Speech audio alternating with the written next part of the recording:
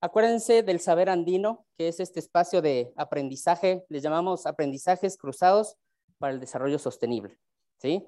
Pero la idea es que sea un espacio en donde nos podemos encontrar con ejemplos muy tangibles de lo que estamos, de lo que estamos haciendo y que vamos a tener una reflexión respecto a por qué se están dando estos procesos y también pensar a nivel regional, tener una visión regional de lo que hacemos, hacia dónde vamos y si realmente estamos cumpliendo con esos propósitos que en algún momento nos habíamos puesto, ¿no? Eh, Macarena decía en la mañana, y lo voy a repetir también para nuestros colegas que están en el, en el, en el Zoom, que es muy importante trabajar a partir de un marco conceptual en donde pensemos que le estamos haciendo frente a la vulnerabilidad, reduciendo esa vulnerabilidad, pero a través de resiliencia, ¿no es cierto? Y en ese conjunto de procesos que podríamos tener para hacer esa resiliencia o para acercarnos o para poder proponer procesos alrededor de la adaptación al cambio climático, de los recursos hídricos. Acuérdense de, todo eso que hemos estado viendo en su momento. Pero hay dos cosas que nos parecían muy importantes y ese es el motivo del saber andino que tenemos ahora, que le hemos denominado redes para la acción. ¿ya? ¿Qué se imaginan ustedes que puede decir o qué, qué puede significar redes para la acción. Y para mí, en lo, en lo personal, creo que está uniendo dos cosas que son importantes en este proceso de resiliencia.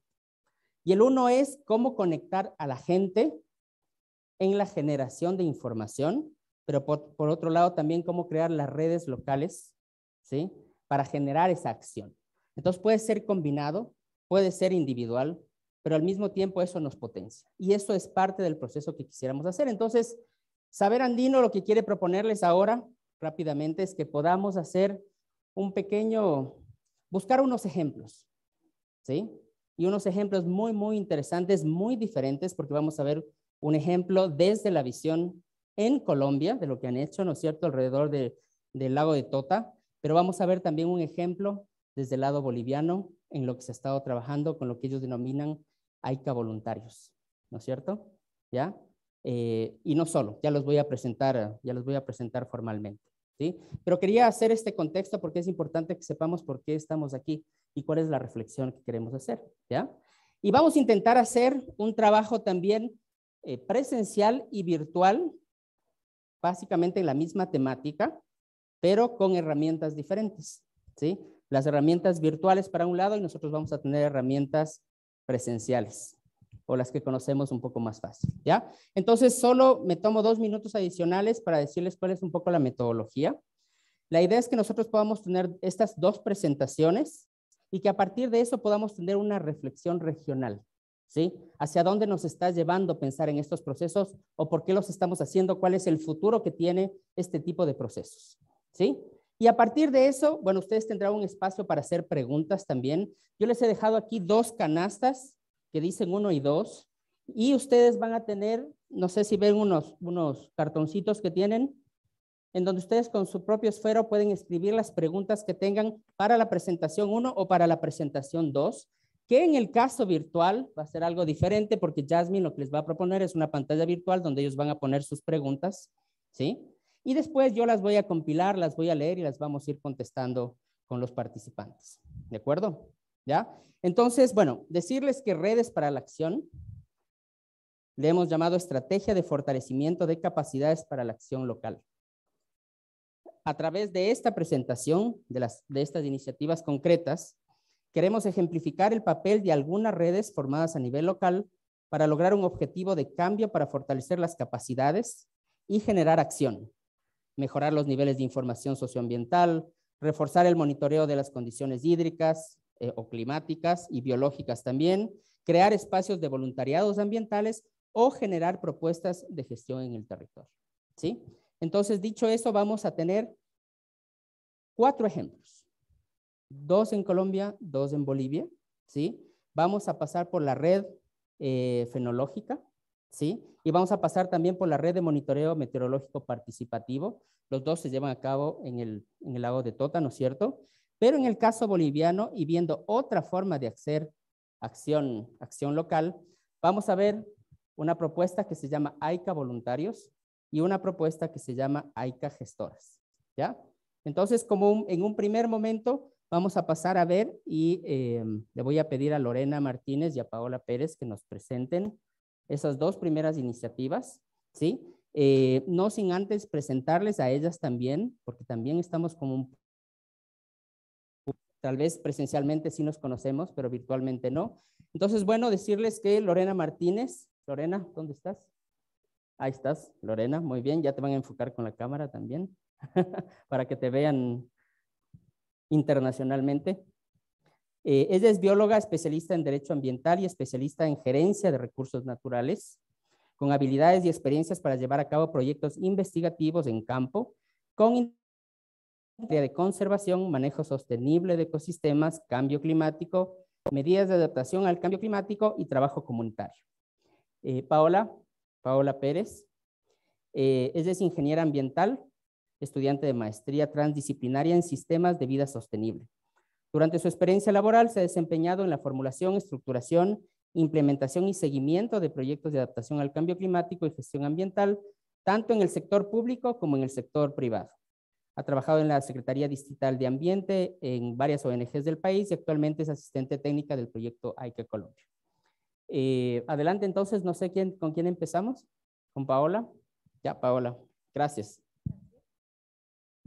Eh, ¿Tienen, nuestra presentación. Ya, ya, te van a colocar la presentación. La presentación. Jasmine, ¿puedes tú colocar la presentación? ¿O alguien tiene que darnos el canal? Con mucho gusto coloco tu presentación. Permítanme, por favor, un Le vas pidiendo que pasen las datos. Perfecto. Y me vas contando, Pau. la primera. ¿Cómo quieres que vaya? Muchas gracias. Bueno. Ahora, ahora la comparto y me, me vas diciendo siguiente. Quisiera confirmar que nos están viendo la audiencia virtual. ¿Cómo podemos hacer para confirmar? Eh, yo, yo, yo te confirmo que estamos viendo bien.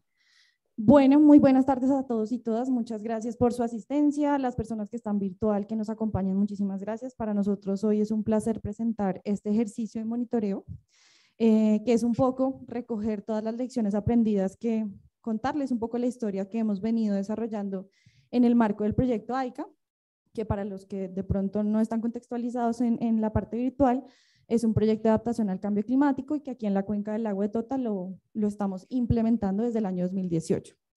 Entonces, les vamos a contar, como lo mencionó Malky, dos estrategias de monitoreo participativo que se plantearon frente a unos motivadores de acción, que son la red fenológica de monitoreo de aves y el monitoreo meteorológico eh, participativo. Siguiente diapositiva, por favor. Entonces, inicialmente es fundamental reconocer cuáles fueron esas motivaciones iniciales, eh, tanto a nivel comunitario y participativo, que encontramos nosotros como proyecto en el territorio que nos permitieron formular estas dos redes de monitoreo. Esto, por supuesto, también, y quisiera aclararlo en principio, se sustenta eh, con los análisis de vulnerabilidad al cambio climático y con varios de los insumos con los cuales contamos para la definición y delimitación de la estructura ecológica principal.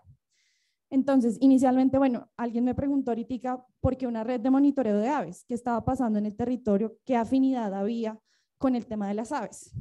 Entonces, Lore, que digamos gestionó territorialmente el proyecto, identificó puntualmente que las personas estaban muy interesadas en, el aviturismo y que estaban muy interesadas en conocer más sobre las aves. Entonces, habían unos espacios eh, de, de información y de conocimiento frente a las aves que permitieron de alguna u otra manera que se generaran espacios de avistamiento de aves, tanto en el tema de aviturismo como solamente en el tema de hobby, que eso es fundamental también reconocerlo. El lago de Tota en el 2013 es un área declarada de importancia de conservación de aves a través de una de las maestrías de una ornitóloga muy importante que tenemos en la cuenca del lago de Tota, que se llama Joana Zuluaga. A partir de, de esa, digamos, de esa eh, hito que se generó dentro de la cuenca del lago de Tota, en la gestión ambiental de la cuenca del lago de Tota, pues por supuesto que se propician otros temas de investigación complementarios a este proceso. Esto se suma también como motivador de la conformación de esta red, que ya existía en la comunidad unos valores éticos frente al cuidado de la fauna y la flora, lo cual por supuesto es fundamental para generar acciones de cohesión social que generen redes, pues que finalmente unan, ¿no? Que unan a la comunidad en identificar y en investigar una temática, que en este caso es el monitoreo fenológico de aves. Y otra cosa fundamental, que también parte de la propuesta que hicimos como proyecto, es intentar eh, entender cómo es la relación del grupo funcional de aves con, la, con el cambio climático, cómo está variando, digamos, diferentes, eh, ahorita ya Lore lo explicará un poco más en detalle, pero diferentes temas fenológicos que nos permiten de alguna u otra manera saber que efectivamente se está generando una afectación en la biodiversidad de la cuenca del lago de Tota por la, en la biodiversidad. Por otra parte, en el tema de la red de monitoreo meteorológico, que yo creo que es un tema muy transversal de todos los proyectos de adaptación, necesitamos saber in situ cómo se están comportando las variables meteorológicas. Existe mucho conocimiento frente a la meteorología. Eh, usualmente las comunidades campesinas tienen mucho conocimiento y preparación frente a este tema, pues porque se enfrentan día a día a él. Eh, y lo que vemos en la cuenca del lago de Tota puntualmente es una afectación muy grande por fenómenos de la y de sequías, que yo creo que en los países andinos compartimos que esas son las principales amenazas que tenemos frente al cambio climático. Pero también, y un poco irónico, tenemos la cuenca del lago de Tota, que es gigantesca, pero tenemos muchas de las subcuencas que no tienen abastecimiento del recurso hídrico. Entonces hay un déficit y un exceso hídrico bien diferenciado dentro de la cuenca. Por otra parte, pues es, fundamental hacer ese reconocimiento y, la comunidad también nos planteó que muchas veces ellos no entendían esas variables meteorológicas y cómo integrar esas variables meteorológicas en la toma de decisión. Esto es adaptación al cambio climático básicamente y lo que nos hace es generar una toma de decisiones mucho más orientada al proceso o al sistema productivo puntual que nosotros queremos abordar. Básicamente, seguramente aquí pues se van a unir muchos más motivadores de conformación, pero puntualmente para nuestro caso, para la cuenca del lago de Tota, estos son los principales motivadores de conformación que pues dieron como resultado lo que les, los resultados que les vamos a mostrar ahorita. La siguiente diapositiva, por favor.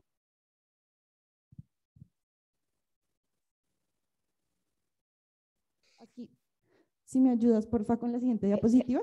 Yo estoy proyectando la siguiente diapositiva. Bueno, eh, frente a los objetivos de esta conformación, ya cuando, digamos, entramos al territorio, se hizo una vinculación muy activa con la comunidad, ya nos planteamos unos objetivos mucho más centralizados. Nosotros teníamos información base de la estructura ecológica principal frente al tema de las aves.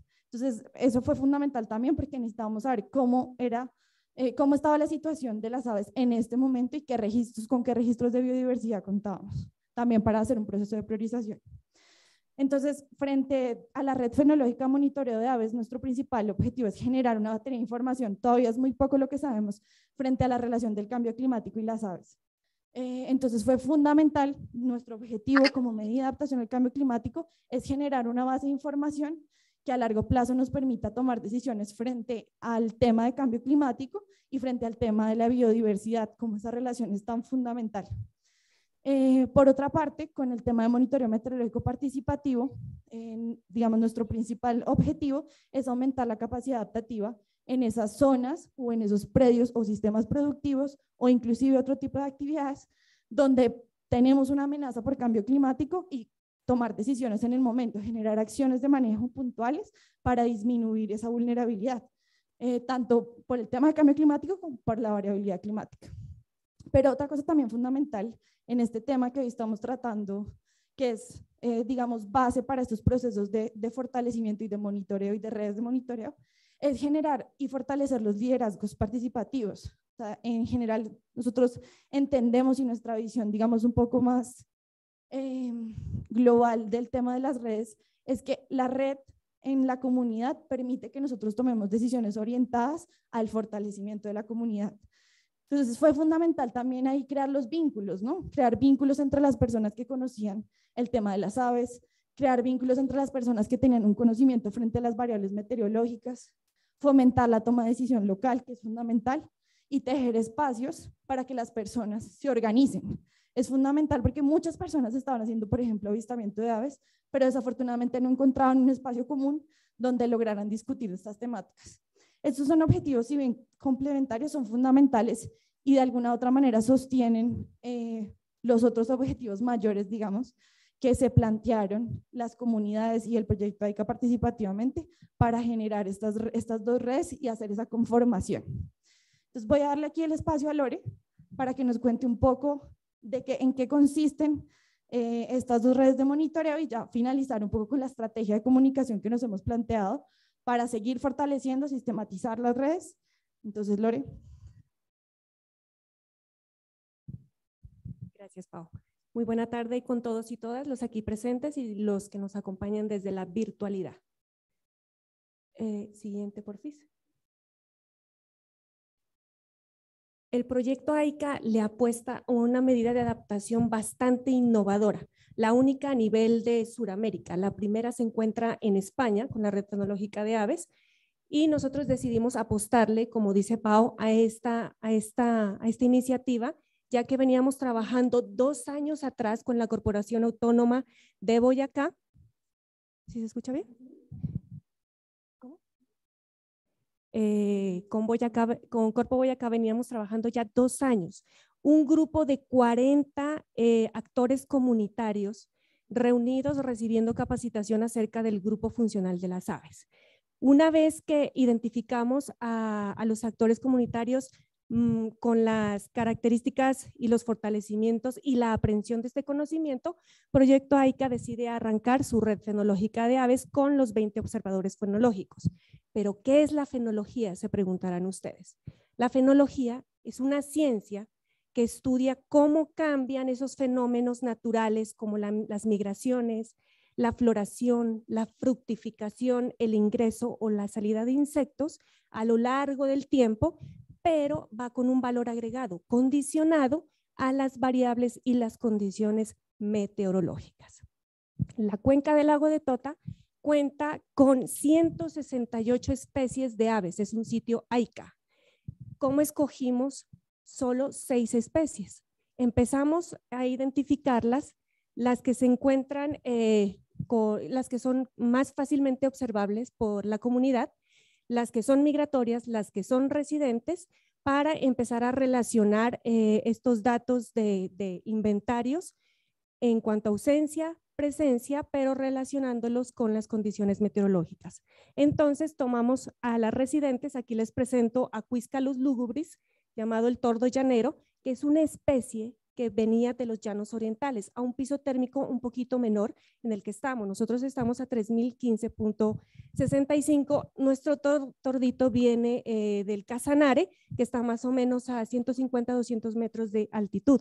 Les presento aquí abajo a eh, Podilimbus podiceps, llamado el pato zambullidor andino. ¿Por qué lo, lo elegimos? Porque es una especie bastante carismática y de fácil ubicación por nuestra comunidad.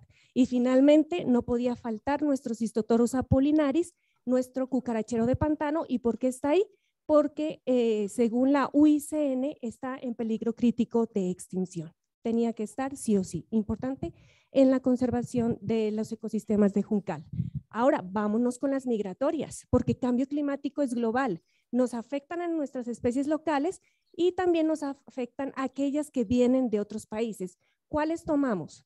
Tomamos eh, la primera que se ve allá, que es el tirano sabana, que ya está ingresando al país, arranca en abril-mayo y se regresa, eh, es una especie austral, viene de Argentina y se regresa a Argentina en el mes de agosto. Les presento acá a Cusisus americanos, llamados el bobito, muy carismática, es muy noble esta ave y también las personas la identifican porque choca contra las, las, las ventanas y suele caer y pues también tiene afectaciones por el tema de los perros ferales. Estas, esta viene de Norteamérica, así que es una especie boreal. Y finalmente tenemos a Espátula Discord, súper carismática, le llaman el pato careto.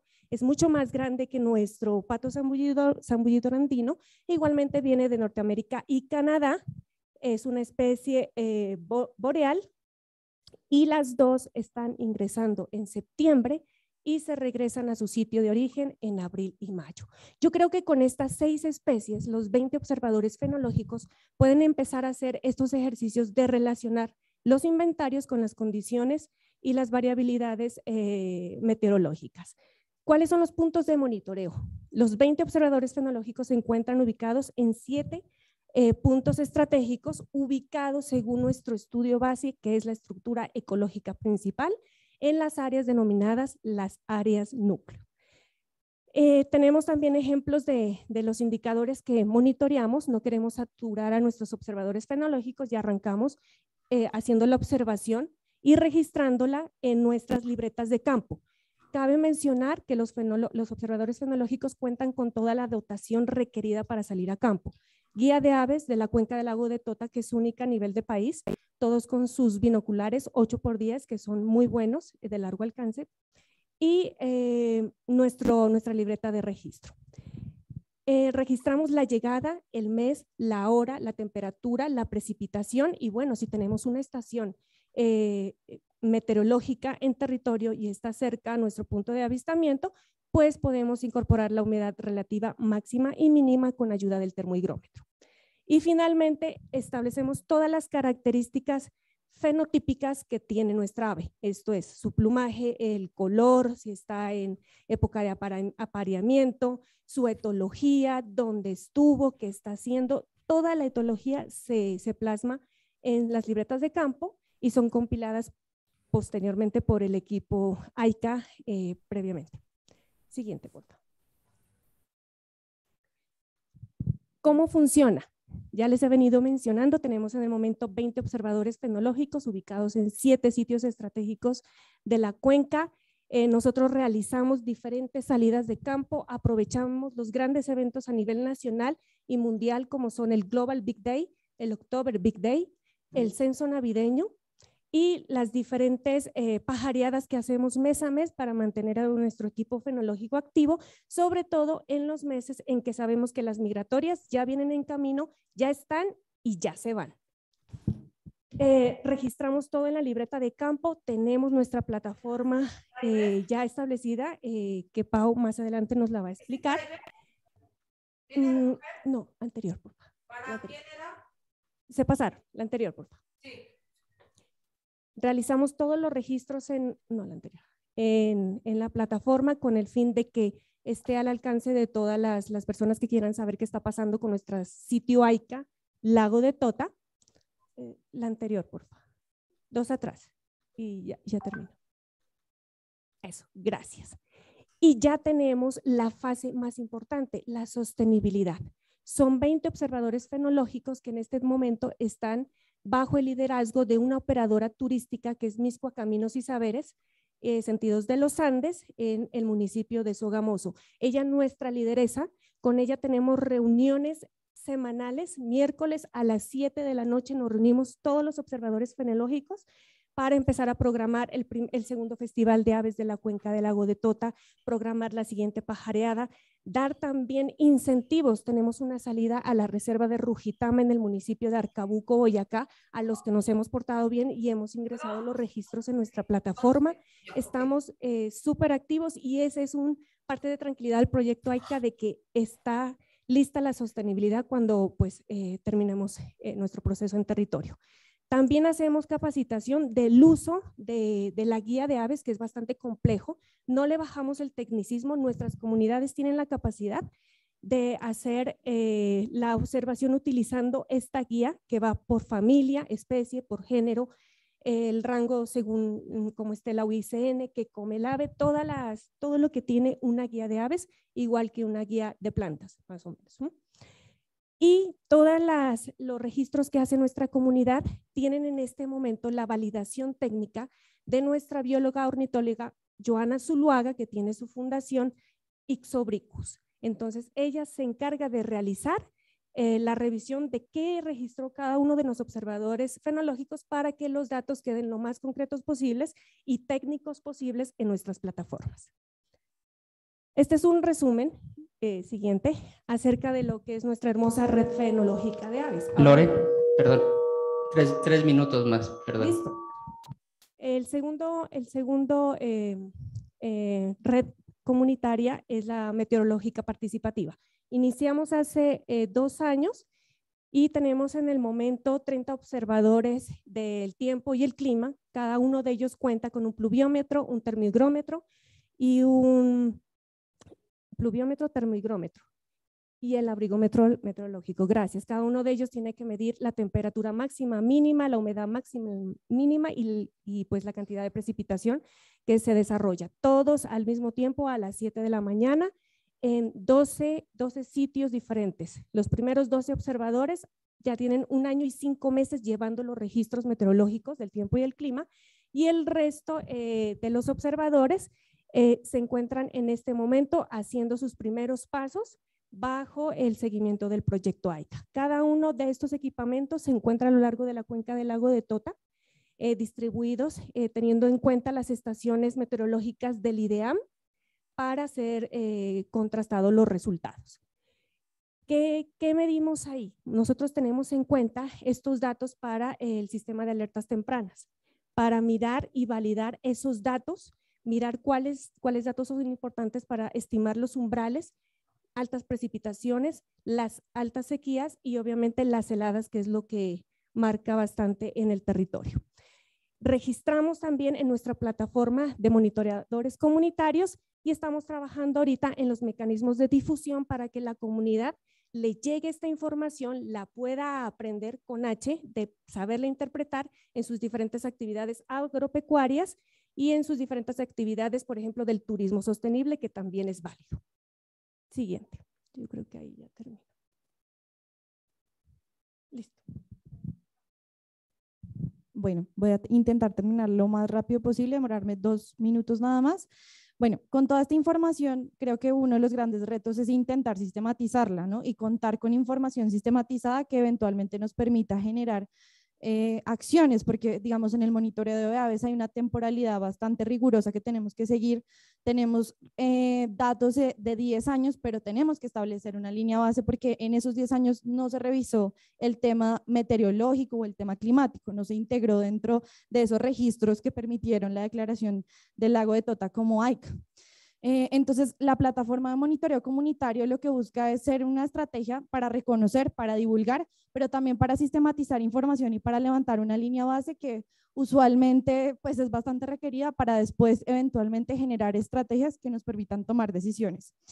Eh, en ese sentido, el proyecto AICA en el marco de, de, ese proceso está generando en este momento y aprobando por los diferentes puntos focales una plataforma de monitoreo que funciona de manera muy sencilla, que nos permite hacer, cumplir ese ejercicio y además que nos permite también visibilizar todas las acciones de monitoreo que se hacen. Muchas veces las comunidades tienen esa gran inquietud, bueno, yo tomo estos datos, pero ¿qué está pasando con esta información? ¿Cómo la podemos usar para la toma de decisiones? La plataforma de monitoreo busca integrar, eh, digamos, esa parte de comunicación más robusta. Eh, siguiente, por favor. Bueno, les cuento aquí mientras que me pasan la diapositiva. Esto es un poco como la estructura de la plataforma, que es una estructura de fácil uso. Aquí también estamos intentando integrar el monitoreo meteorológico participativo y el fenológico para, como lo mencionaba Lores, pues hacer conjeturas, ¿no? Eh, y poder generar hipótesis frente, por ejemplo, a la presencia de algunas aves migratorias o a la ausencia o de pronto a la tardanza de algunas aves migratorias que tenían que llegar, por ejemplo, en septiembre. Eh, y con esta información sistematizada se nos facilitaría mucho más ese análisis posterior. Para el tema de monitoreo meteorológico participativo tenemos una gran ventaja porque es un tema que se tiene que tomar a la temporalidad, es decir, diario. Entonces, lo que queremos en este momento, estamos trabajando en la plataforma para que las alertas eh, se generen automáticamente con el registro de información meteorológica. Es decir, que tenemos tres estadios de alerta, que es pues, alerta roja, alerta amarilla, alerta verde y, y, alerta naranja. Entonces, nuestra intención es que dentro de la plataforma las personas puedan ver esas alertas y que no solamente en la cobertura que tenemos, que es limitada, que es la cuenca del lago de Tota, pues que le llegue la información a todos los vecinos, porque tenemos solamente 30 estaciones de monitoreo meteorológico participativo y esta sería la forma de comunicarlo. Siguiente, por favor. Ya estamos terminando. Queremos también dejarles ya aquí para finalizar, porque esta ya es la conclusión final y es que, por supuesto, estas acciones tienen muchos retos. Uno de los principales es vincular toda esta información con, con la toma de decisión nacional, eh, que también, digamos, como lecciones aprendidas de otros proyectos de adaptación, lo que vemos es que la información meteorológica y la información fenológica debería lograr vincularse a las instituciones locales y a las autoridades ambientales para la toma de decisión. Para eso, por supuesto, lo que nosotros hemos garantizado es que nuestros sistemas tengan un, un estadio de calidad, ¿no? Que el dato lo verifiquemos y que a nivel pues, comunitario logremos generar un dato de calidad técnica que eventualmente permita tomar decisiones. Sigue siendo todavía un gran reto, nosotros en Colombia no tenemos protocolos de monitoreo comunitario, entonces sigue siendo un gran reto para el proyecto continuar y vincular estos procesos. Por otra parte, fundamental, mantener esos motivadores de cohesión social que permiten que la gente se reúna, que le dedique un tiempo a este proceso, que se apasione por lo que está haciendo y que de alguna u otra manera vea cómo eso tiene un impacto general en su territorio. generar las estrategias de comunicación, no solamente virtuales, sino también presenciales. Aquí en la cuenca tenemos muchas personas que no tienen acceso a Internet, entonces es fundamental también generar estrategias de comunicación in situ. Para el tema de alertas tempranas tenemos algo interesante que es un tema de banderines para que las personas vean el color de la alerta y los vecinos puedan enterarse de lo que está pasando, digamos, en ese momento, frente a las heladas, las sequías, frente al exceso y déficit hídrico. Y finalmente, eh, sobre todo para el monitoreo fenológico participativo, tenemos un gran reto y es escalar la información de la toma de decisiones, eh, porque como les mencionaba, la temporalidad de, en este monitoreo pues es mucho menor es mucho mayor a la temporalidad del monitoreo meteorológico. Entonces, en ese sentido, tenemos que establecer un protocolo para escalar o para empezar a investigar un poco más y analizar un poco más qué está pasando durante los años, eh, que son más o menos cinco, que es la idea es que con cinco años de monitoreo empecemos a revisar qué está pasando entre el cambio climático y las aves. En este caso, pues en nuestras aves bioindicadoras. Eh, eso es lo que les queríamos compartir el día de hoy. Muchísimas gracias por escucharnos. Esperamos todas sus preguntas.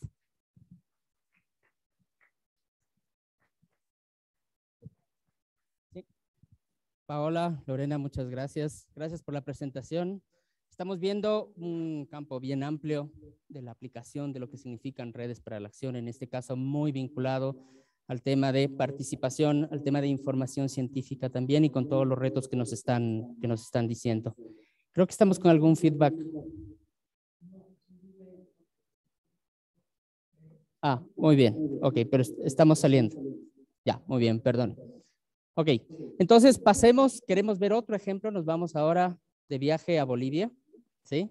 Y vamos a ver otra forma de plantear lo que significaría entonces hacer redes para la acción. En este caso, desde un punto de vista bastante diferente, otra aproximación, pero sobre todo creo desde la demanda que existe de las comunidades por entender qué es lo que está sucediendo y mucha gente que tiene ganas de hacer mucho.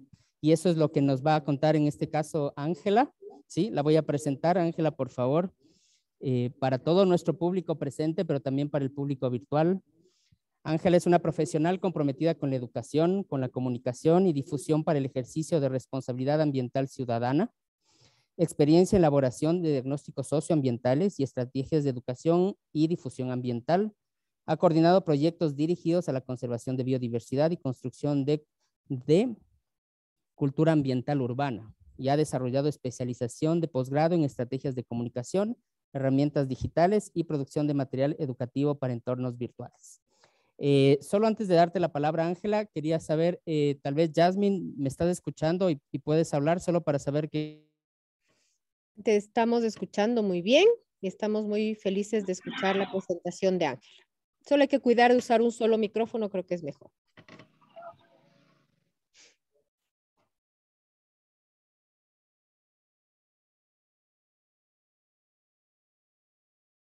Ahora perdimos, la conexión con ustedes.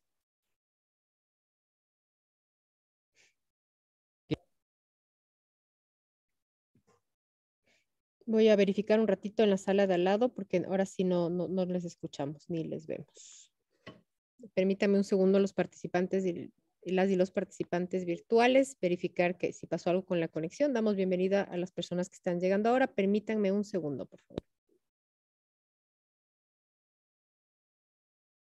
Jasmine, ¿nos escuchas?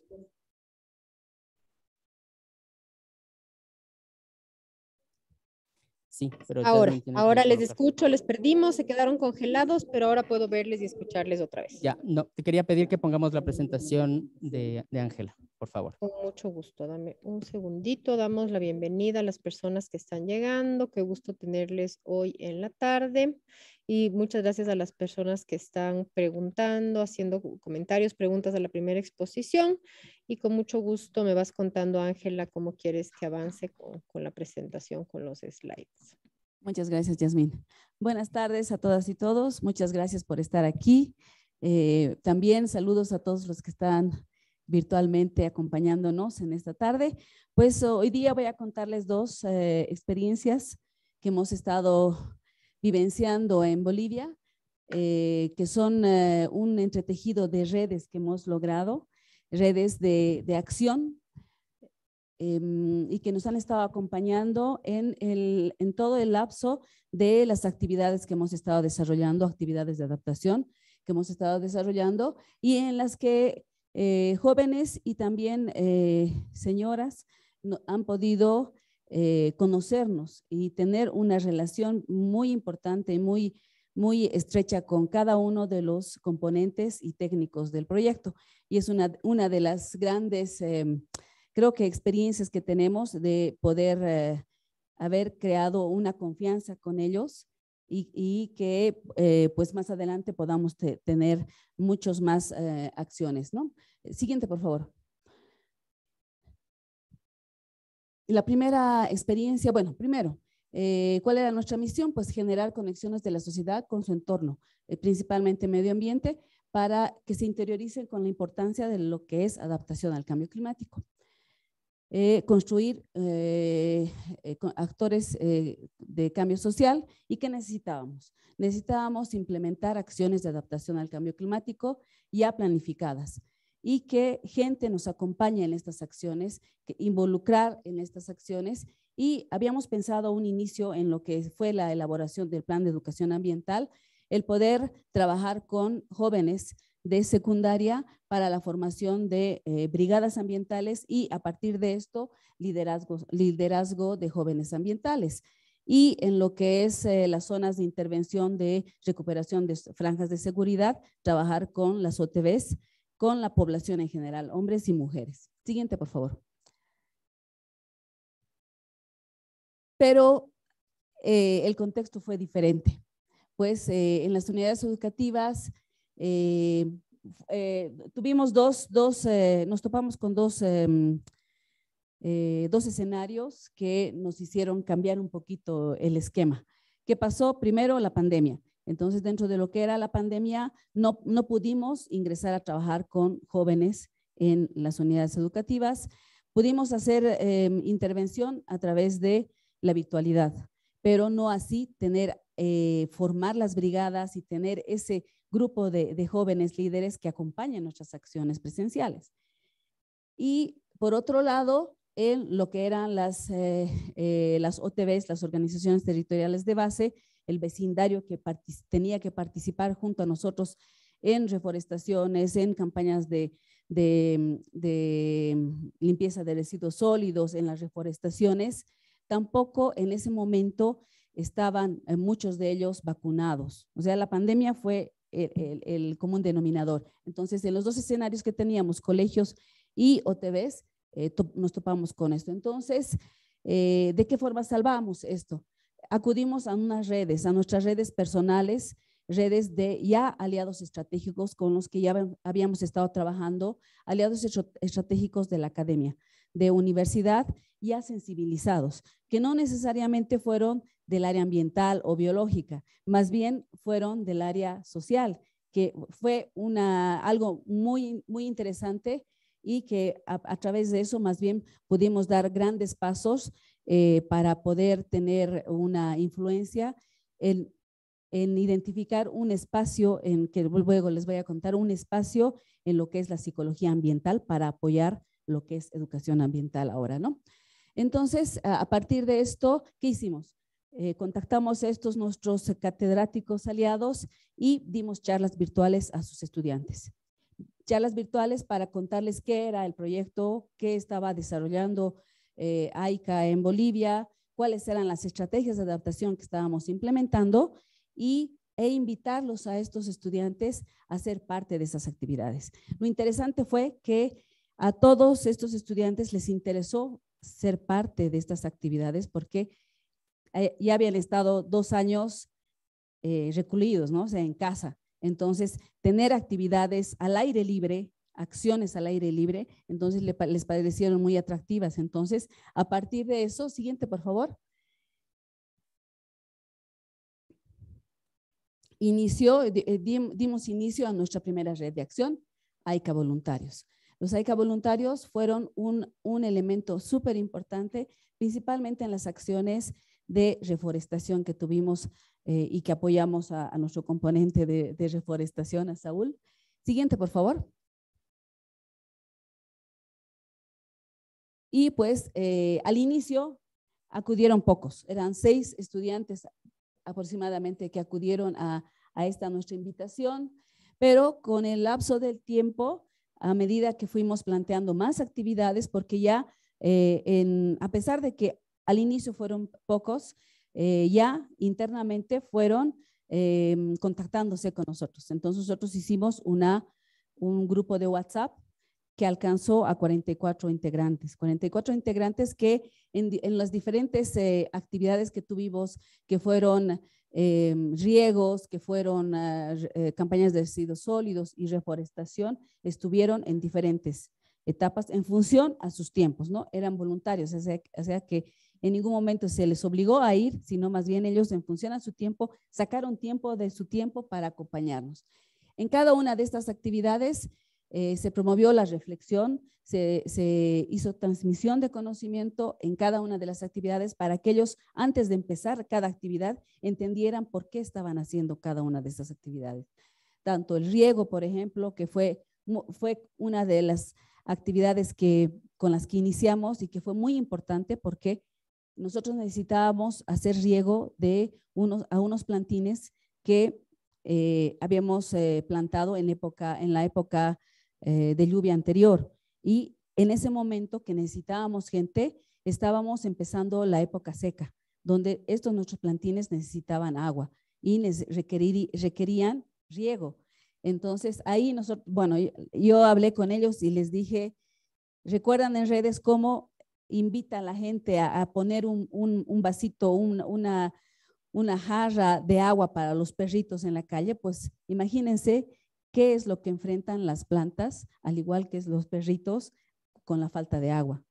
El estrés hídrico en Cochabamba, la falta de agua, que son, como les había comentado esta mañana, eh, Saúl, son de siete meses. Entonces, esos plantines que estaban bien chiquitos, eh, no, podía, no iban a poder enfrentar un estrés hídrico sin la ayuda de nosotros. Entonces, como parte además del plan de, de reforestación, estaba el tener este riego y, y, ellos realmente ahí se motivaron y sintieron, o sea, se sensibilizaron eh, con, con, los con los árboles, los plantines y comenzaron a acudir.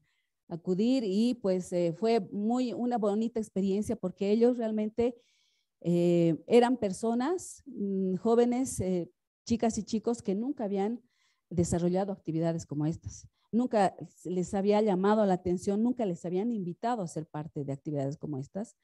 Y eh, a partir de esto comenzaron más bien a seguir uh, pidiéndonos actividades, no ser parte de estas actividades. Siguiente, por favor.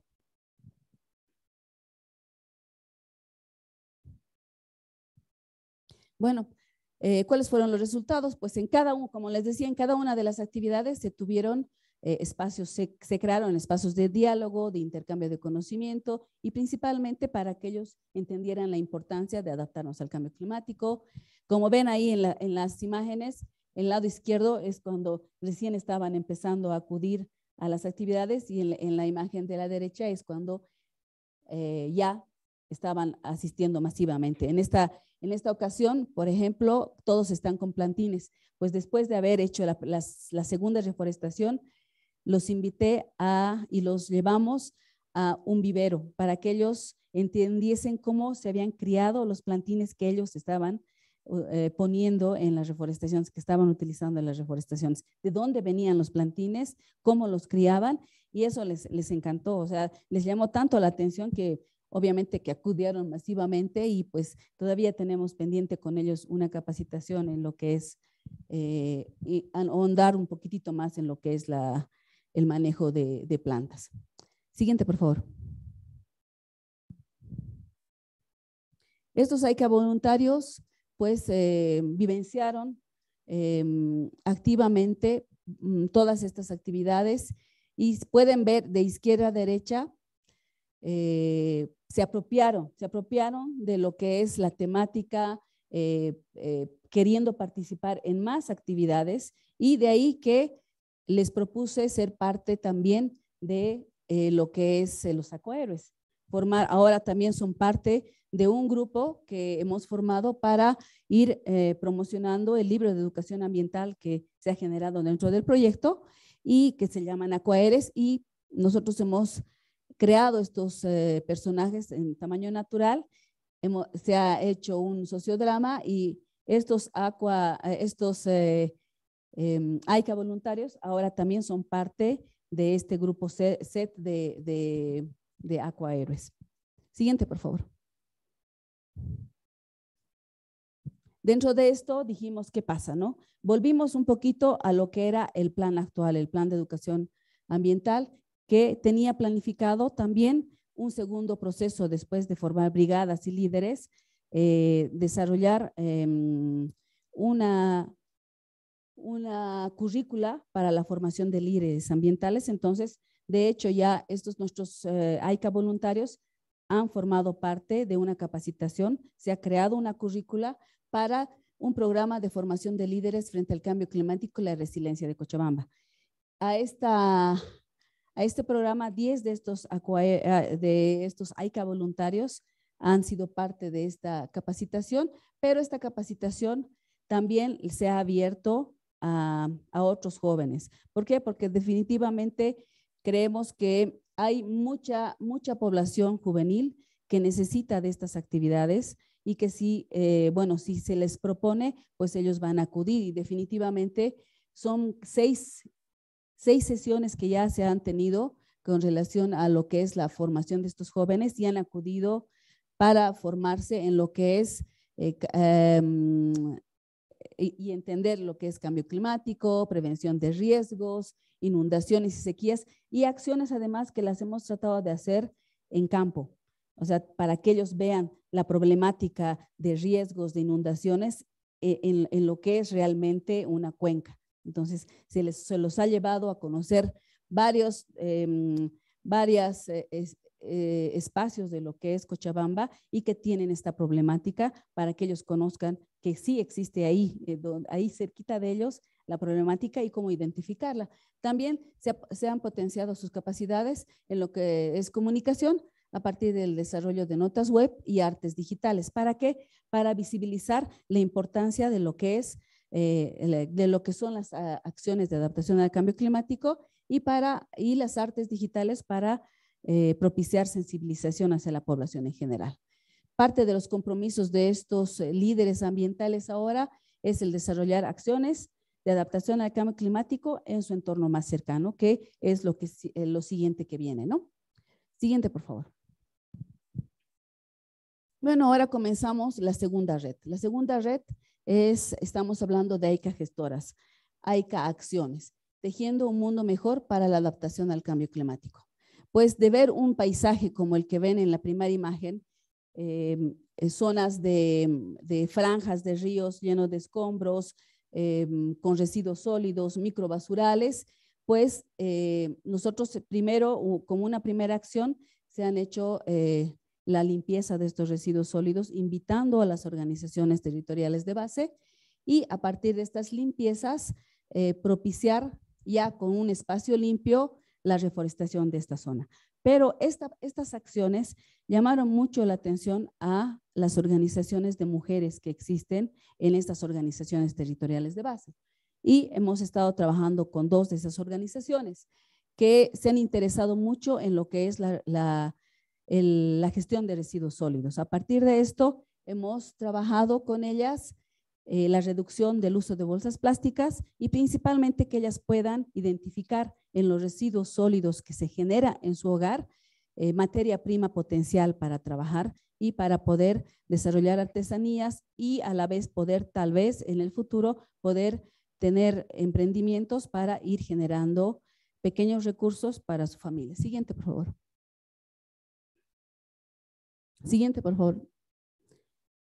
El trabajo que hemos desarrollado, como les decía, eh, una a menos, eh, es el manejo de residuos sólidos y principalmente eh, la reducción de bolsas plásticas y la transformación de estas bolsas plásticas en hilo. Y aquí les he traído una, una, un ejemplo de los trabajos que hemos estado desarrollando con ellas, enseñándoles a hacer hilo y a partir de, hacer este hilo, eh, hacer estos trabajos. Hacer estos ¿Las trabajos. podemos pasar, Ángela? Sí, por favor. Voy a, voy a ponerlo desde acá para que lo vean y se lo van. Aquí lo van también pasando. tenemos otros, otros eh, Excelente. trabajos. Muy bueno, eso Y lo lo voy a pasar por interesante acá. ha sido que se ha, se ha empezado a hacer el hilo muy facilito y, y es increíble porque es tan, tan fácil y tan, tan sencillo de hacer aquí les he traído una, una muestrita. Una, una muestrita para que puedan ver y pues em, ellas también al momento de hacer, como ven en la imagen, en la, imagen del medio ya están, ya están tejiendo eh, y en la primera imagen ahí se les está enseñando cómo hacer, cómo hacer el, eh, cómo hacer este material que es muy sencillo. Rápidamente les voy a enseñar a hacer una partecita. Una de las técnicas, son dos técnicas las que se han utilizado y que es simplemente sacarle la base a una bolsa, ya sea con orejitas o sin orejitas, y hacer pequeños aros. Ustedes ya de- depende de ustedes de qué grosor van a hacer las, las argollas. Simplemente es doblar y luego unir. Y se va uniendo, realmente se va uniendo aquí y con ellas en cada una de las sesiones. Ha sido eh, charlar con ellas, tejer con ellas eh, proyectos que ya estamos empezando a avanzar, porque creo que aquí no va a quedar solamente en esto. Ya estamos empezando con ellas. eh, esta parte de capacitación ya ha pasado, pero hemos empezado con ellas una nueva em, fase de, de esta capacitación. El siguiente, por favor, que es eh, un taller de emprendedurismo para aquellos, para aquellas comiencen a través del conocimiento que se les ha transferido de esta técnica, puedan eh, plantear desarrollarse en un emprendimiento más grande para que ellas puedan eh, definitivamente eh, tener ingresos económicos más fijos para su hogar. Entonces, ellas solamente uniendo así, como, como dice la, la- el tema de hoy día, ¿no? Redes, redes de, redes de comunicación, redes de conocimiento, justamente de esta forma se ha trabajado con ellas, se ha trabajado con ellas y pues eh, lo que se ha utilizado para tejer este hilo es este, este, este material, ¿no? Que es un crochet, un, un ganchillo y simplemente haciendo unos nuditos con, con el ganchillo, vas, va- uno va tejiendo y pues eh, haciendo cadenas, realmente cadenas de conocimiento, cadenas de amistad, cadenas de, de, de liderazgos y que junto a ellas nosotros queremos pues seguir trabajando.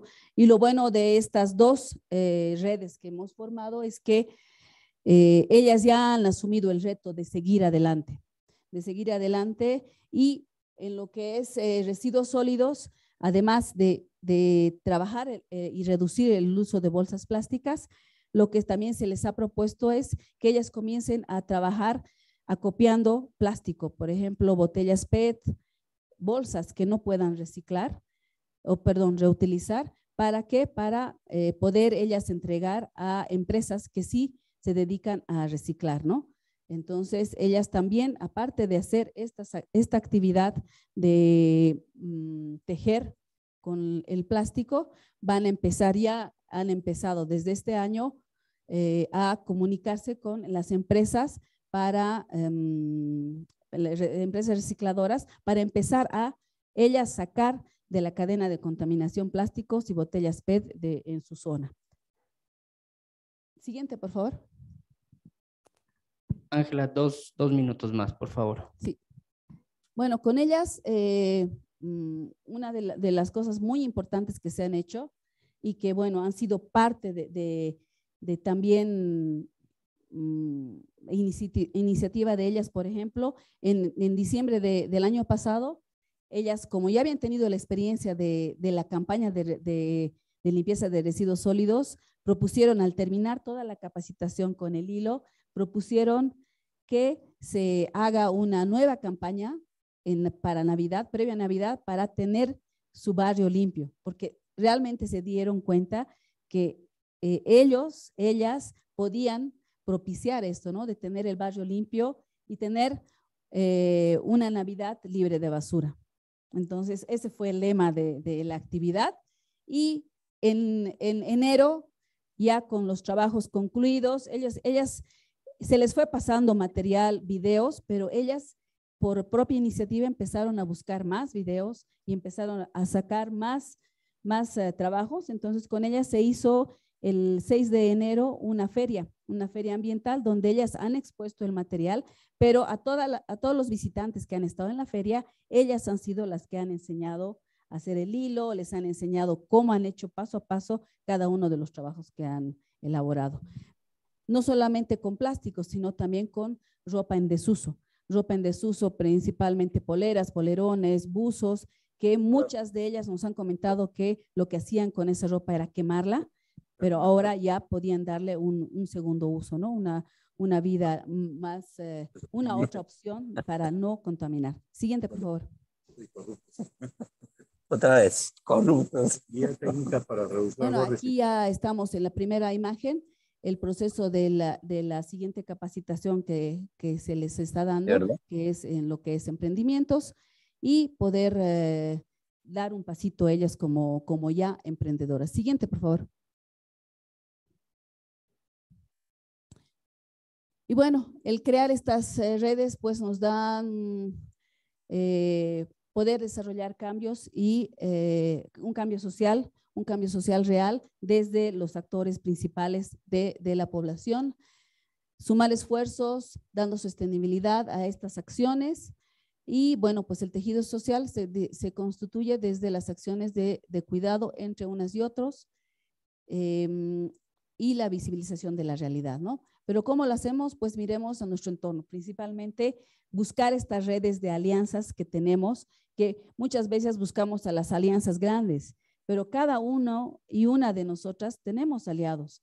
Podemos tener a nuestros aliados estratégicos de nuestro entorno más cercano, que es una de las, de las eh, grandes enseñanzas que nos ha traído esta, esta, estas acciones y esta forma de, de trabajar con los AICA voluntarios, en las que hemos recurrido a nuestros aliados cercanos, aquellos que ya están sensibilizados y que sí van a poder, sí nos han ya por segunda, tercera vez nos apoyan para poder eh, tener voluntarios. Y estos voluntarios se van quedando. No solamente es este momento o este momento que están con ellas, ¿no? sino que se van quedando y pues son, ya forman parte de una base de datos de voluntariado que nosotros vamos eh, recurriendo para otras acciones. Eh, a partir de, bueno, de un interés colectivo, sí, y, bueno, motivando a la participación principalmente y, sensibiliza, y sensibilizando a cada una de estas personas, ¿no? Siguiente, por favor. Creo que eso es todo. Bueno, eso es todo. Gracias.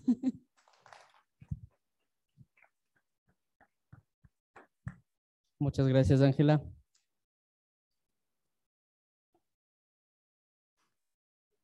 Bueno, les animo también a si tenemos alguna pregunta que las vayan haciendo. Eh, todavía vamos a tener ahora un espacio de reflexión que le vamos a pedir a Luis, a Luis Daniel, que ya le voy a presentar que lo haga. Pero por favor, si es que tienen alguna pregunta, podemos hacerlo en las tarjetas que están ahí. Pueden ponerlo en el, esto como lo está haciendo Luis Daniel, y lo ponen en la canasta. Yo los voy revisando para después leerlo. Lo mismo lo vamos a hacer en el espacio virtual, que actualmente veo que estamos con 51 personas conectadas, lo cual me, alegra, me alegra realmente mucho. Eh, Yasmín, no sé si me estás escuchando. Antes intenté hacerte una pregunta que era quiénes nos estaban acompañando, de qué países, quiénes son. Que nos presentes un poquito. Mucho gusto, sí, estamos escuchándoles bien. Tenemos participantes hasta la encuesta que hicimos de Ecuador, Colombia, Perú y Bolivia, pero hemos recibido más participantes, así que eh, con mucho gusto pueden contarnos si tenemos otro país que nos acompaña. Y solamente a Carlos le veo con la cámara prendida y los participantes, las participantes presenciales seguro quieren verle, así que están súper bienvenidos y bienvenidas a aprender sus cámaras cuando gusten y nosotros en modalidad presencial estamos con 45 participantes de igual de estos países, ¿no? Eh, muchas gracias, estamos recibiendo eh, en este momento también vía chat las preguntas, comentarios, están bienvenidos a hacer todas las reflexiones que quisieran compartir para que intercambien las dos audiencias y con expositoras, expositores, están bienvenidos a hacerlo. Entonces, si gustas, Malky, me cuentas si vamos a hacer ahora las preguntas o si vamos primero con nuestro comentarista. Ahora vamos a ir con, con Luis Daniel. Entonces, quisiera presentarle y un poco también recordarles eh, de la participación y por qué hacer este, este, este pequeño espacio. La idea es que a partir de estas, de estas iniciativas que hemos visto podamos también hacer una reflexión global y sobre todo llevarnos algo, que quiere decir qué podemos hacer en nuestros países, ¿de acuerdo? ¿Cómo nos interesa, cómo podemos ver lo que hemos estado aprendiendo en este momento? Entonces, gracias eh, Luis Daniel por aceptar este reto. Eh, él es coordinador del proyecto de adaptación a las alturas de Condesán Cosude y profesor de ecología de la Universidad de los Andes, doctor en biología por la Universidad de York. Eh, sus trabajos están enfocados en el análisis de la relación entre los patrones y procesos de ensamblaje y dinámica de las comunidades vegetales, analizando los cambios de la diversidad, estructura y resiliencia de las comunidades en respuesta a gradientes ambientales y a motores de cambio, eh, de cambio con énfasis en el cambio climático y el uso de la tierra. Trabaja en la implementación de estrategias de adaptación al cambio climático, monitoreo, conservación y restauración de ecosistemas montanos tropicales, enfatizando en el desarrollo de enfoques transdisciplinarios y participativos coordinador en Venezuela de la red Gloria Andes y de la red de bosques andinos y explorador de la National Geographic Society. Luis Daniel, por favor, bienvenido y por favor coméntanos y dinos lo que has visto y tu, y tu reflexión. Gracias. Bueno, muchísimas gracias por la invitación. De realmente seguir después de estas dos presentaciones que vimos con un comentario es un reto enorme. Este, son experiencias preciosas. Eh, además súper diversas, interesantísimas, con montones de cosas para reflexionar. Entonces, bueno, voy a hacer mi, mejor esfuerzo en tratar de, por un lado, sintetizar y por otro lado, poner esto en un contexto regional. Cuando conversábamos de, de, cómo ir de las experiencias locales a lo regional, eh, pensamos un poco que, bueno, en Condesan hay todo un trabajo recorrido de trabajo a nivel continental con redes de monitoreo, como la red Gloria, que es una red que monitorea el impacto del cambio climático sobre la diversidad de la, de la vegetación, eh, la red de bosques andinos o la red IMEA, que son redes de monitoreo hidrológico. Y entonces lo que pensábamos era, bueno, cómo conectar experiencias locales de investigación, acción participativa o de redes para la acción, eh, eh, para resolver problemas concretos con estas otras escalas de trabajo. Y eso es un poco la, lo que me motiva a, a tratar de hacer esta reflexión, porque pudiera ser útil para que los procesos de sistematización y de, y de, y de replicación del proyecto AICA realmente tengan eh, alcances más allá de, de, los cuatro países en los que se han implementado y, y, contribuyan a mantener la sostenibilidad de estas redes que se están generando, de hecho, en, este, en, en espacios como este taller. ¿no? Entonces, bueno, partir de, lo que vimos en las presentaciones, voy a, Malky me dijo, trata de no volver a repetir lo que ya vimos, pero creo que es importante partir de, bueno, ¿qué me queda? ¿no? De, de ver, de ver las experiencias que, que, se presentaron. Creo que un, un tema, eh, mi mamá siempre decía que en, en, el mundo real hay problemas y en las universidades hay departamentos, y yo creo que eso es muy pertinente para lo que estábamos viendo. Es decir, cuando la, la, gente se organiza en torno a la resolución de problemas o, o la identificación de oportunidades al nivel local, la, lo transdisciplinario o el diálogo de saberes se da de manera natural, porque el problema llama a los que hacen falta para resolverlo, ¿verdad? Si yo tengo un problema de deslizamiento, pues obviamente voy a tener que buscar a alguien que sepa algo de deslizamientos, a un, a un biólogo, eh, a, al, al comunicador social para que me ayude a transmitir esto en el radio, etcétera. Es decir, creo que algo que vemos que ha sido como un motor de estos, de estos procesos que vimos ahorita es el partir, por un lado, de la, de la cultura o de los valores locales y por el otro lado de los, de los problemas. Y lo siguiente es identificar que son problemas que no tengo yo solo. Y obviamente, bueno, ya todos sabemos, todos los que hemos ido al psicólogo sabemos que el, darse cuenta de que un problema no lo tengo yo solo, sino que es compartido, pues ya, es, ya empieza a ayudar, ¿verdad? Eh, Y por otro lado, creo que es importante también partir de las redes de experiencias previas y de los contactos previos. Cada uno de nosotros tiene sus redes. eh, y el, y el aprovecho, creo que en ambos ej- ejemplos hablaron de que, bueno, ya había un trabajo previo con aves en la cuenca del lago Tota o ya había un trabajo previo eh, de, de organizaciones comunitarias de corte ambiental que venían haciendo acciones. Entonces, obviamente, eso también es una oportunidad eh, para, para fortalecer. Lo otro creo que es que nos muestra que la participación activa es esencial para que haya una apropiación de proyectos eh, como el AICA. O sea, sin la participación activa de las comunidades, pues obviamente nada de esto tendría sentido. Y lo que permite es fomentar el- la, el- la generación de un tejido social y, em- y generar empoderamiento. Es decir, que la gente se sienta escuchada, que es lo que están haciendo a nivel local eh, es relevante para gente más allá de sus vecinos inmediatos. Entonces creo que eso, creo que eso es otra cosa fundamental que, creo que desde el punto de vista del fortalecimiento de la capacidad organizativa es clave, que la gente se sienta más escuchada y, eh, y más tomada en cuenta, ¿no? Y lo otro es que obviamente generan estas redes espacios para la reflexión y el aprendizaje colectivo en temas que quizás no, son los más normales, ¿no? O sea, obviamente el tema de, de- probablemente hace 50 años, pues nadie estaba reflexionando en el lago Tota sobre el- si las aves estaban llegando más temprano o más tarde. Entonces, el hecho de empezar a pensar en eso me hace pensar en el ambiente, me hace pensar en qué necesito para que esas aves estén ahí, y entonces me lleva en una cadena de razonamientos que parte de un, de un, de un problema aparentemente muy tonto y muy local a una reflexión con la comunidad sobre la problemática ambiental más general. Y creo que eso es otra cosa que nos dejan eh, ambas experiencias, es cómo estas redes de trabajo co- eh, colectivo generan espacios para eh, la reflexión en temas ambientales y sociales. ¿no? Desde el punto de vista, entonces ahora, ¿cómo conectamos esto con los retos a nivel, digamos, más continental? Acabamos de terminar un estudio eh, en el que trabajamos con Manuel y con la Universidad de Tucumán, etcétera, tratando de ver qué están haciendo las redes de monitoreo continentales que hay hoy en día. Entonces identificamos en ese estudio eh, unas más de 200 publicaciones, como 50 redes diferentes que trabajan en monitoreo de diferentes temas. Y lo que nos llamó muchísimo la atención es que hay dos vacíos fundamentales. Uno, un vacío total de redes que trabajan lo social de manera comparativa. Entonces, casi todas las redes de monitoreo que hay son de temas ambientales o climatológicos, vegetación, clima, hidrología, glaciares, prácticamente ninguna desde el punto de vista social.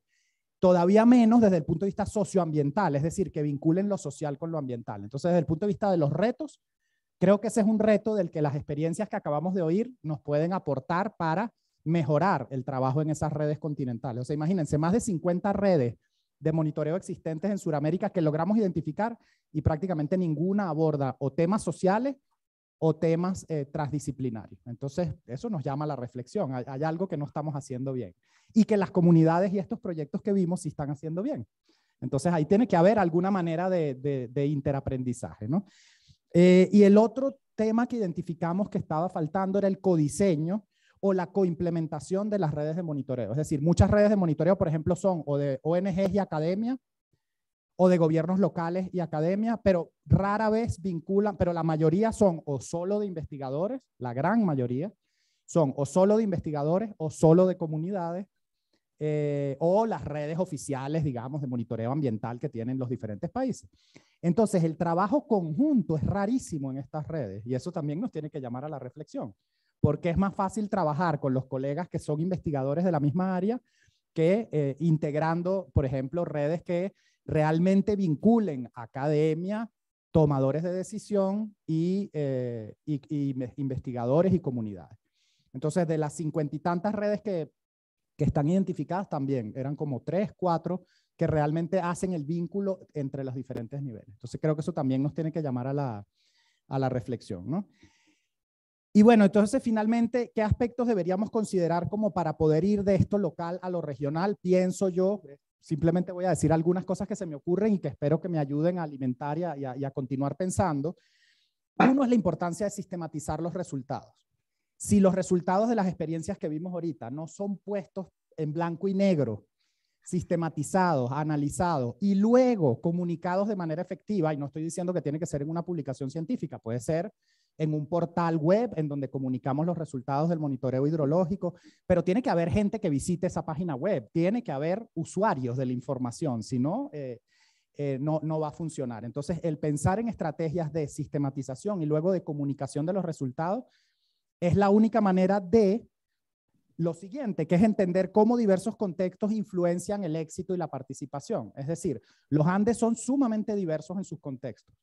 ¿Qué es lo que es común que hace que la experiencia de Cochabamba sea exitosa como fue la del lago Tota? La única manera de hacer eso es pudiendo ver los resultados del lago Tota y los de Cochabamba y compararlos y hacer un análisis comparativo. Si no hacemos ese ejercicio adicional de regionalización de la información y de comparación, pues seguimos sin saber si las razones de éxito en Cochabamba son replicables o extendibles a otros contextos. Y esos contextos son sumamente diversos y si algo hemos aprendido es que la extrapolación es peligrosísima. Y la única manera de saber qué tan peligroso es extrapolar de un sitio a otro es conociendo muchas realidades diferentes, como muchos contextos de gobernanza, políticos, sociales, eh, de investigación, de tradición previa, historia, influencian el que este tipo de redes tengan éxito o no. Esa es la única manera en que vamos a poder ir de lo local a lo, a lo regional. ¿no? Em, lo otro es que permiten comparar resultados del trabajo, ¿verdad? Y, al poder comparar, entonces nos permite tener un verdadero interaprendizaje y un intercambio de experiencias. Solamente a partir de poder aprender en diferentes lugares y comparar qué fue lo que nos fue difícil en común, cuáles fueron los retos comunes y cuáles fueron las fortalezas comunes, se generan verdaderos procesos de interaprendizaje con un carácter más, más andino, que es, lo, como decía, permiten la replicación. ¿no?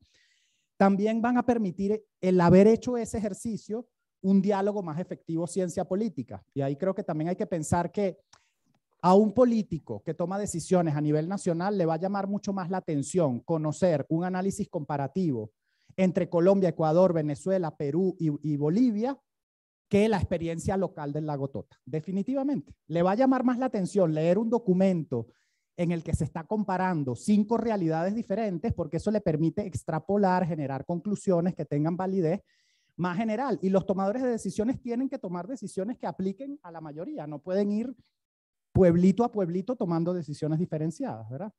Entonces, desde el punto de vista de que lo que hacemos tenga impacto en el diseño de políticas, es fundamental, me parece, el poder hacer eh, estos ejercicios de comparación, de diálogo y de sistematización de las experiencias. Y eh, los últimos punticos que había notado, eh, otra cosa que me parece clave y que vimos como ejemplo es el vínculo entre redes para promover una visión integral. Me pareció súper interesante, por ejemplo, el ejercicio en Tota, en el que tienes una red de monitoreo de aves y otra de clima. Y entonces, en realidad están trabajando dos redes de manera integral. Ese es uno de los retos más grandes que tenemos en los Andes. Como les decía, tenemos redes de monitoreo de vegetación, tenemos otras redes que monitorean clima, otras redes que monitorean glaciares pero el, o agua, pero el monitoreo integral todavía es una tarea pendiente. Y creo que las experiencias locales que vimos hoy están apuntando en la dirección correcta. Cuando, cuando se vinculan unas redes con otras, se, la potencia de lo, que, de lo que aprendemos es mucho mayor. ¿no? Eh, Después creo que también vimos que el, uso de nuevas tecnologías es una tremenda oportunidad, ¿verdad? Sobre todo las redes sociales, los teléfonos celulares inteligentes, en donde yo tomo una foto y la georreferencio, la cuelgo, inmediatamente la puedo compartir y creo que no hemos aprovechado en las redes de monitoreo continental suficientes, quizás con la excepción de las de aves, que creo que son un ejemplo de, uso de nuevas tecnologías a nivel global, inclusive. En muchos otros casos, e, esas oportunidades todavía no las estamos aprovechando. Y bueno, y, con lo que termino es que eh, eh, eh, en todas estas experiencias vemos mucho la identidad local y veíamos ayer en todo el recorrido, soy, soy Lago Tota, somos Lago Tota, pero creo que no debemos olvidar que también somos andinos, ¿ok? Y que somos Lago Tota en un contexto andino, pero lo que nos trae a un lugar como este es que además de ser de Tota, Tota queda en los Andes y eso le imprime una serie de características, de retos comunes, pero también de oportunidades comunes que debemos seguir eh, aprovechando. Entonces, bueno, sí, soy del lago Tota, pero también soy andino. Yo creo que eso, eso es importante siempre tenerlo en la, en la cabeza. Bueno, muchas gracias. Gracias, Luis Daniel. Muchas gracias. Bueno, vamos a empezar con, con, otra pequeña fase de lo que queremos hacer, pero obviamente sí nos gustaría leer un poco las preguntas que, que hemos tenido, las reflexiones. Por favor, vean las reflexiones como las, hemos tenido en, las presentaciones, pero también la, la, idea global que nos está dando Luis Daniel al respecto. Eh, Yasmín, quería pasarte la palabra para saber si podemos empezar desde lo virtual. Y creo que tenemos a una persona que quería compartir con nosotros. Tenemos una sorpresa para todas las dos audiencias. Eh, Carlos Pomareda, director de Condesan, nos acompaña y esa es la maravilla de la tecnología. Quiere hacer un breve comentario. Bienvenido, Carlos, y luego con mucho gusto leemos las, eh, las preguntas y comentarios de las y los participantes virtuales. Bienvenido, Carlos. Muchas gracias, Yasmín. Eh, suerte de María y Andrés Felipe que pueden estar con ustedes personalmente. Eh, yo solo los acompaño hoy en forma virtual y mañana no puedo estar lamentablemente. Pero antes de seguir en la siguiente sesión, quiero hacer dos comentarios. Yo creo que eh, las presentaciones y los, los comentarios que se acaban de emitir revelan que esto es efectivamente un gran aprendizaje y de parte de Condesan estamos muy orgullosos de este como uno de nuestros proyectos estrella, de modo de que esas lecciones son sumamente valiosas. Pero me llevan a dos comentarios. El primero es de que en los objetivos del proyecto, y ustedes lo pueden leer en la hoja resumen que se ha presentado, uno de los objetivos, el tercero, es tener incidencia en medidas de política. Y eso no es una tarea fácil, pero hay que asegurarnos de que el proyecto cierra con propuestas específicas de medidas de política para hacer posible eh, este, que, que este proyecto o que las acciones desarrolladas se continúen y se consoliden. Mecanismos de financiamiento para los grupos, eh, eliminación de restricciones burocráticas, eh, transparencia en los procesos, una serie de medidas que van a hacer posible que el esfuerzo desarrollado se continúe. Y el otro elemento que está en el tercer objetivo del taller como tal, en el tercer objetivo del taller como tal, es la discusión de las propuestas para el escalamiento. Creo que los comentarios hechos a raíz de las presentaciones ya han apuntado en varias formas a eso, pero ojalá acabemos el taller con un planteamiento específico sobre ambos aspectos, sobre las medidas de política que se recomiendan que se den y si no podemos madurar la suficiente antes que cierre el proyecto, tener una nueva conversación sobre ese tema. Y lo siguiente, el tema del escalamiento, pasar efectivamente de las experiencias locales a lo regional es una dimensión, pero dentro de lo propiamente, propiamente local es posible el escalamiento y la consolidación. De modo que solo quería hacer esos dos comentarios. Creo que es una experiencia muy rica y no debemos perder la oportunidad del taller para abordar estos dos temas que están en los objetivos del proyecto y los objetivos del taller. Gracias. Muchísimas gracias, Carlos. Vamos a tener muy presentes sus recomendaciones. Con mucho gusto hemos tenido unas reflexiones muy interesantes.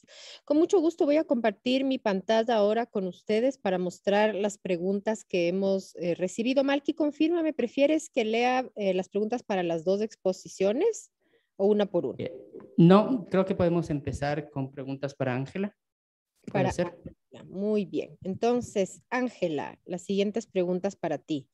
¿Dónde queda institucionalizada la currícula del programa Formación de Líderes frente al cambio climático? Y la segunda, ¿quién estará a cargo de las capacitaciones que se hicieron con mujeres una vez termine el proyecto y cómo se prevé financiarlas?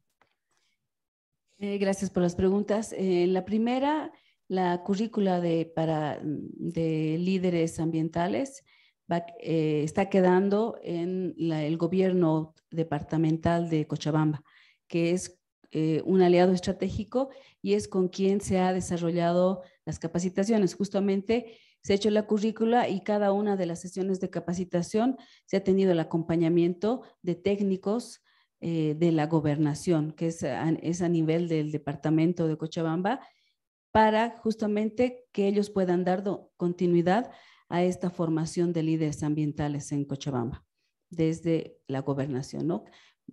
¿Por qué la gobernación? Porque tienen una llegada más amplia eh, a, a todo, a todo el departamento que implican 47 municipios. Entonces, hemos querido eh, tener esa alianza para que ellos desde el próximo año ya tengan toda esa base de datos, eh, todo, toda la logística y todo lo necesario para que ellos den continuidad a estas capacitaciones.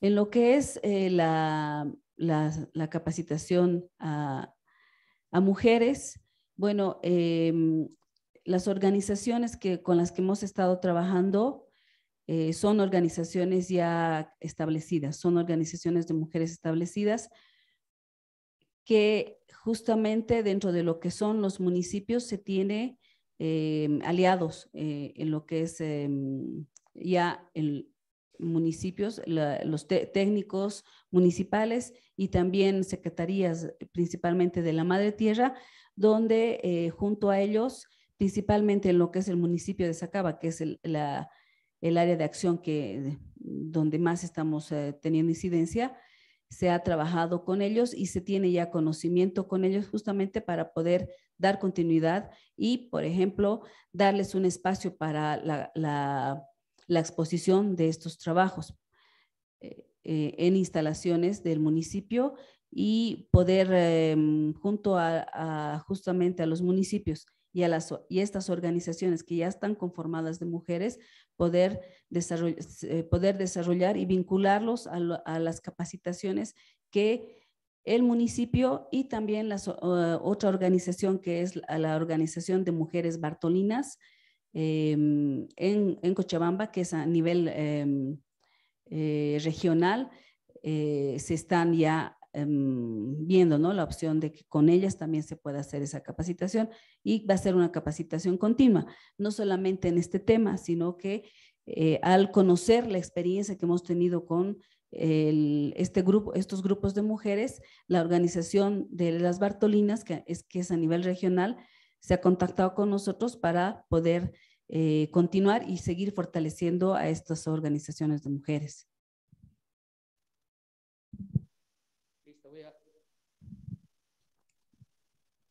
Voy a continuar con algunas preguntas eh, que nos hicieron aquí presencialmente. Eh, sí les voy a pedir que midamos un poco el tiempo, que lo hagamos rapidito las contestaciones. Eh, a ver, tenía aquí algunas. Dice, la información fenológica levantada. ¿Cómo puede orientar acciones de adaptación, conservación y gestión? Ya, te la dejo también por si, por si quieres leerla de nuevo. Ok, la fenología direccionada a las diferentes especies que nosotros estamos eh, siguiendo en la cuenca del lago de Tota nos permite realizar mm, tres cosas. El primero, el estado del uso del suelo en el que se encuentra la cuenca del lago de Tota. Segundo, el estado de los ecosistemas en el tema de cobertura vegetal. Un ejemplo muy cortico, cucarachero de pantano no vive eh, si no está eh, el junco, él no va a avanzar ni al sistema eh, de transición de alta montaña y no va a avanzar tampoco a los sistemas eh, productivos. Tiene que vivir en Juncal. Entonces es importante el estado de, los, de, los, de las coberturas vegetales. Y tercero, eh, las acciones de adaptación en la gestión. Es un AICA, es un área de intervención para la conservación de las aves. Al tener una red fenológica de aves, me está permitiendo visibilizar aún más el territorio local, regional, nacional y ahora estamos aquí internacionalmente para la gestión en el fortalecimiento de, las capacidades humanas instaladas, su continuidad para la aprehensión de nuevas comunidades que quieran hacer parte de esta, de esta iniciativa y obviamente para la sostenibilidad y la adecuación de nuevos equipamientos en las áreas núcleo que están destinadas para el monitoreo. Gracias, Lore. Eh, Pau, si tú puedes contestar esta, dice, ¿quién financió el monitoreo? ¿Quién lo va a financiar luego del proyecto AICA? Eh, esas dos, creo, si las puedes contestar. Bueno, eh, bueno, inicialmente el proyecto AICA, como les mencionamos, llegó a fortalecer en realidad algunos procesos, sobre todo en el tema de la red fenológica de aves, o sea, las personas ya estaban haciendo registros y ya realizaban el avistamiento y hacían varias jornadas de avistamiento pues, en los diferentes espacios que hay para ello. Entonces, en principio, el proyecto AICA pues, diseñó la red fenológica de monitoreo y pues, financió eh, la red, igual con la red meteorológica, y pues lo que generamos es un espacio participativo y de talleres para capacitar a la comunidad para que logre hacer ese monitoreo. Y aquí nos preguntan que quién sería como los actores para mantener el monitoreo a largo plazo. Entonces, Lore lo mencionó dentro del funcionamiento de las redes. Afortunadamente tenemos un grupo muy diverso de actores comunitarios donde hay organizaciones no gubernamentales que están trabajando dentro de la cuenca del lago de Tota. Son organizaciones locales, por supuesto tienen un alcance y nuestra idea también fundamental es literalmente como posicionar esta idea también como una idea para entender un poco más esa relación frente a las aves y frente al clima eh, pero por el momento tenemos la administración y la organización por parte de dos fundaciones importantes. Bueno, una operadora de turismo que lo mencionamos allí, Lore lo mencionó en, el funcionamiento, y también la Fundación Inchobricus, que ellos han venido trabajando y pues gracias también a sus esfuerzos se ha podido hacer la, en la declaración del lago de Tota como área de importancia para la conservación de aves. Fundamentalmente estamos trabajando así, nuestra idea también es posicionar, hemos estado conversando mucho con la autoridad ambiental, con Cuerpo Boyacá, con la gobernación, eh, con todos los actores locales, por supuesto, con el ministerio, con el IDEAM y con, con DESAN también, porque reconocemos que esta es una iniciativa local, pero completamente de acuerdo con las reflexiones finales que debe apalancarse con, con estrategias regionales que le potencien esta información. Eh, gracias, Paola. Una, una pregunta más tengo aquí, después ya voy a dar paso también a algunas preguntas virtuales si tenemos.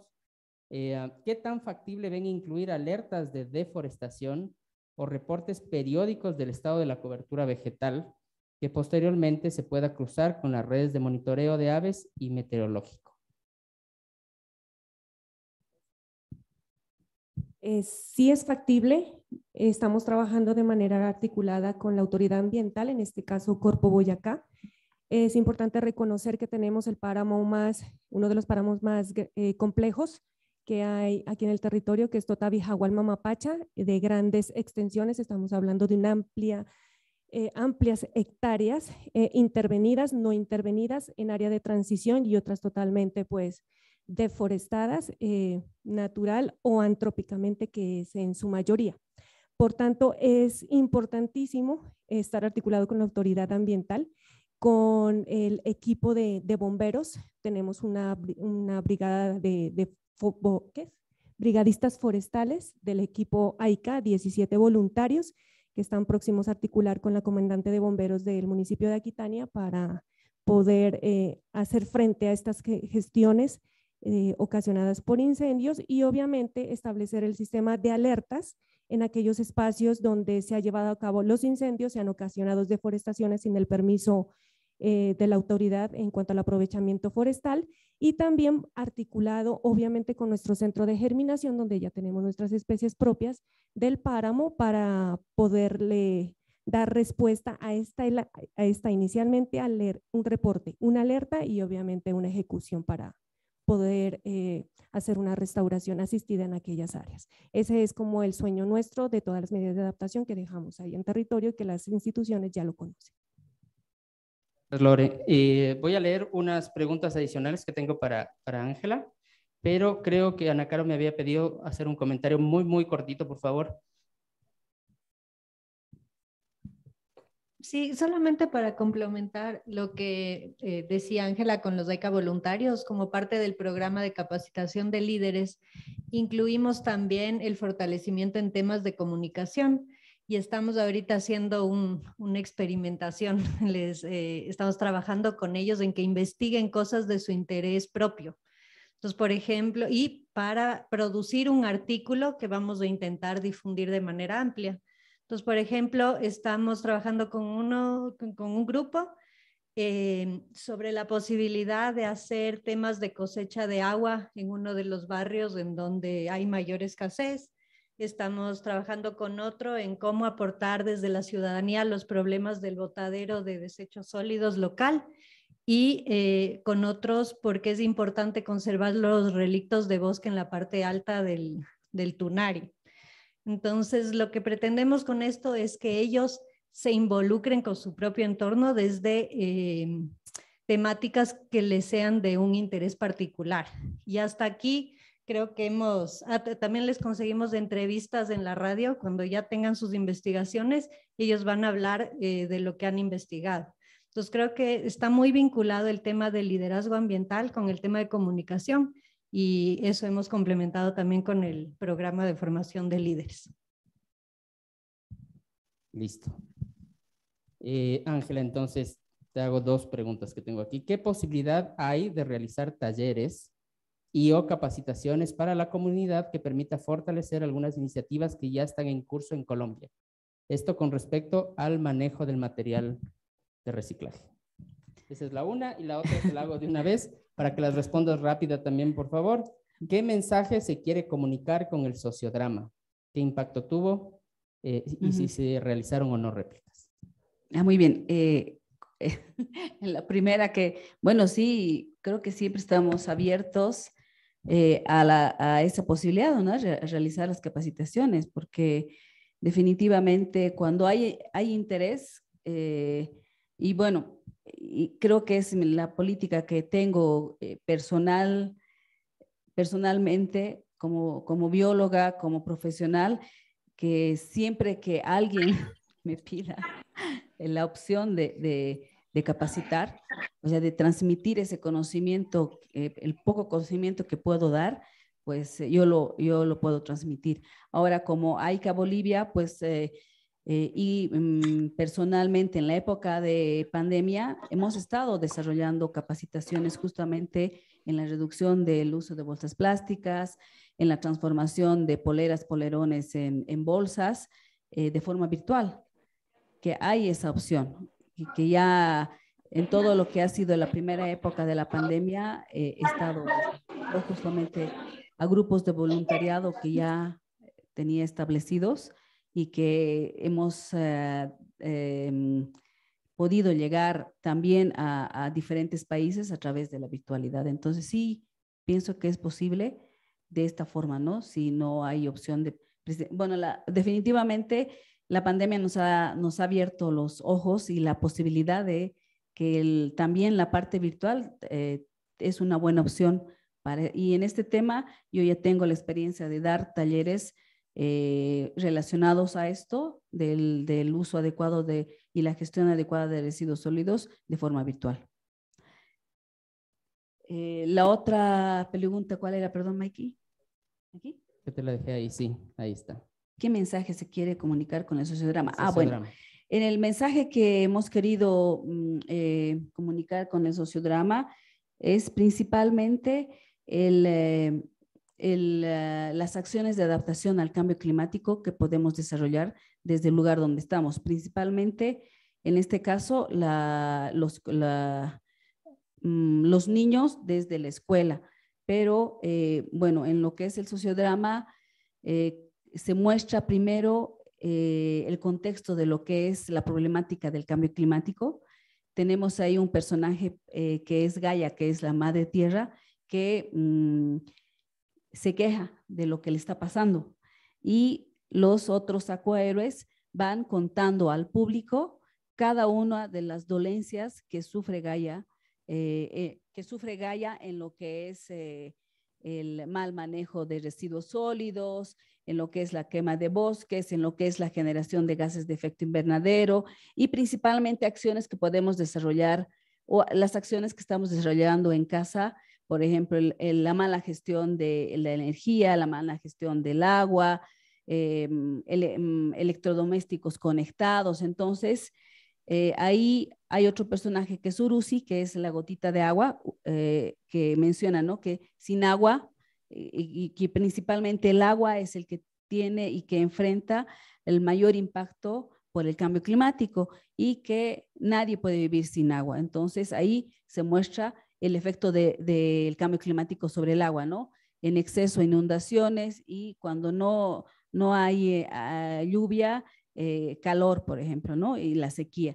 Entonces ahí mostramos lo que es el libro, que es eh, Aquahéroes luchando por la adaptación al cambio climático, que hemos hecho un libro ah, mm, grande para que cada uno de los personajes indiquen justamente qué acciones eh, de adaptación al cambio climático se pueden desarrollar desde casa para que los, los niños puedan aprender esas acciones. Entonces, cada uno, en el sociodrama, cada uno de los eh, acoaéreos va explicando, por ejemplo, uno de los acoaéreos pasa con eh, una bolsa plástica con eh, productos y se, le acerca otra de los acuahéroes y le dice, no, ya no utilices bolsas plásticas, mejor utiliza bolsa de tela y cambian el producto de la bolsa de plástico a la bolsa de tela. Entonces son ejemplos de acciones de adaptación al cambio climático que cada uno de nosotros podemos ir desarrollando.